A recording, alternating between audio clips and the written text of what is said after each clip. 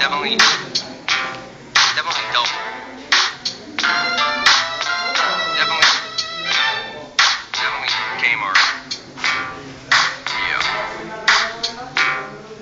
Yeah. You find me offensive, I find you offensive for finding me offensive.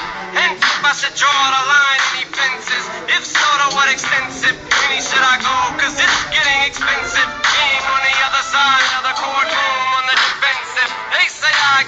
Extensive psychological nerve damage to the brain when I go to lengths this far at other people's expenses. I say you're all just too goddamn sensitive. It's censorship and it's downright blasphemous. Let's end this shit now cause I won't stand for this. And Christopher Reeves won't sit for this neither. And let's clear this up too. I ain't got no beef with him either. He used to be like a hero to me. I even believe I had one of those 25